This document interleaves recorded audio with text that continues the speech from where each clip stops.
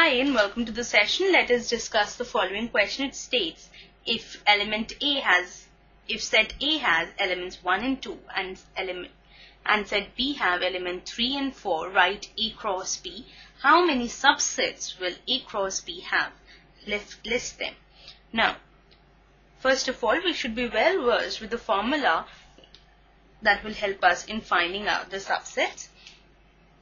That is, number of subsets can be find it out equal to 2 raised to the power n where n are the number of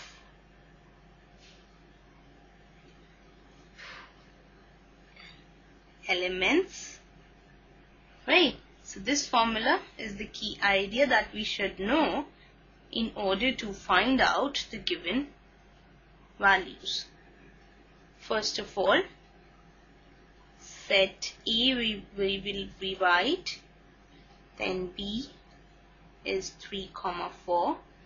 First of all, let us find out A cross B. It will be having ordered pair where the first pair will be 1 comma 3 second will be 1 comma 4 then 2 comma 3 and 2 comma 4 right? So the number of elements in E cross B are